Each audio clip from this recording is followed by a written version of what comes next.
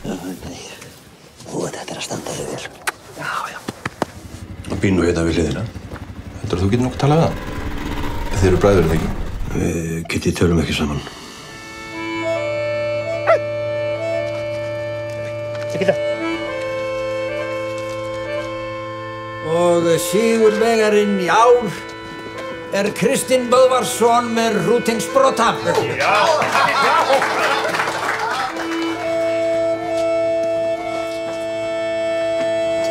Riðuveiki er komin upp á bænum Bólstað í Bárðardal. Þetta er í fyrsta sinn sem veikinn kemur upp í dalnum. Þeir eh, telja að samgangurinn sé það mikill að ef að ég að útrýma veikinni það að skera allan dalinn.